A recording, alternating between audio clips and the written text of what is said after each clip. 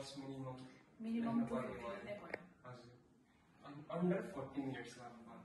अब तपाईँले टास्क जति छिटो छिटो सकेर टास्कको लागि जति टाइम सेभ गर्नुभयो अँ, तपाईँले त्यति गर्नु पर्यो जब टास्क वान टास्क भनेको वान आवरमा कम्प्लिट गर्नु पर्यो यसमा चाहिँ कस्तो खालको क्वेसन हुन्छ तपाईँको हेर्दा हामी first one is opinion uh, and agree